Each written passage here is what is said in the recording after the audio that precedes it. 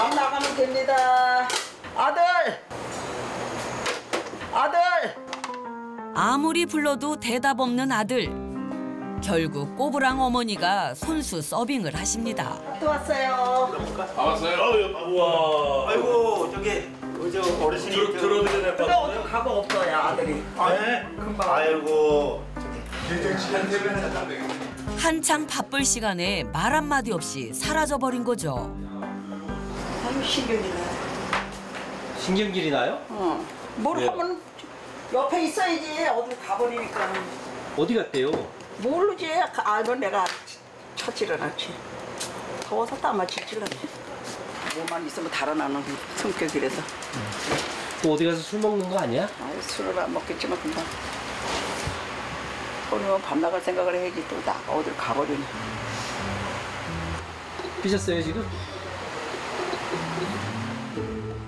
삐쳐서 말씀 안 하시겠다는 뜻이래요. 우리 어머니 아주 화가 단단히 나셨네요. 그 시간 아들은 어디 갔나 했더니 사촌 형네 비닐하우스 공사를 도와주고 있네요. 저제 없으면 농사 못 지어요. 왜요?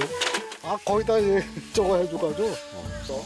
온 동네 비닐하우스를 다 고쳐줬다는 경수 씨.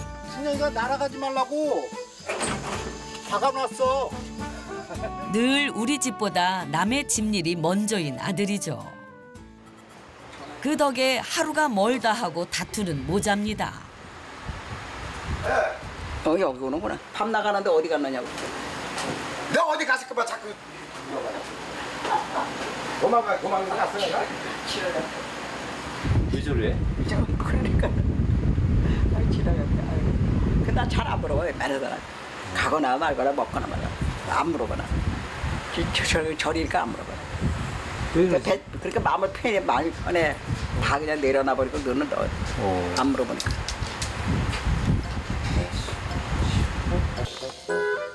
다른 때 같으면 죄송하다며 넘길 일을 오늘따라 유독 예민하게 구는데요.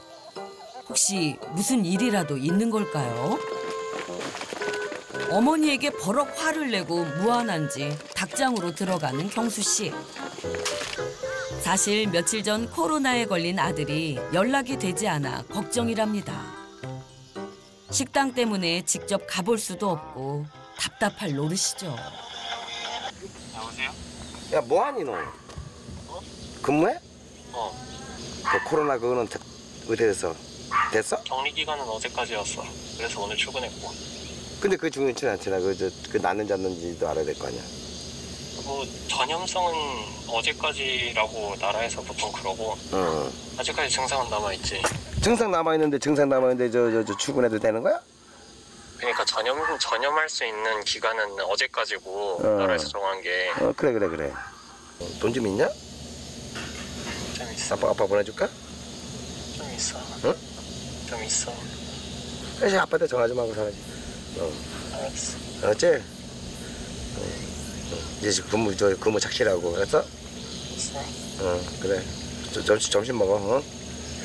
어 어 아이 아유 아유 나 진짜 아들한테 갑자기 전화를 왜 하셨어요? 에이 궁금하잖아 저 저기 저, 저 나한테 전화 한 지가 벌써 한 3, 4일 되는 것 같은데 한 번도 안 하고 자식이 아주 그게 꼭 내가 해야 돼 이 자식들은 어떻게 된 게 내가 하면 안 해 아유 나 아주 이런 참 어? 뭐가? 아 애들 말이야 무슨 애들? 3, 4일 동안 전화 한 통화 안 해, 내가 안 하면은.